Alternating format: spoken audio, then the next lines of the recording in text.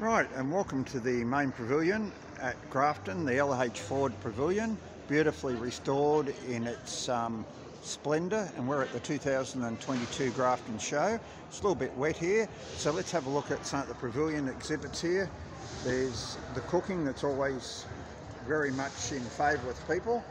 So you can see the rich fruitcake competition there in the back. That's part of the ASC Council competition that ends up at the Royal Easter Show in Sydney and this year you can see that um, Vicky Fletcher, I know Vicky Fletcher,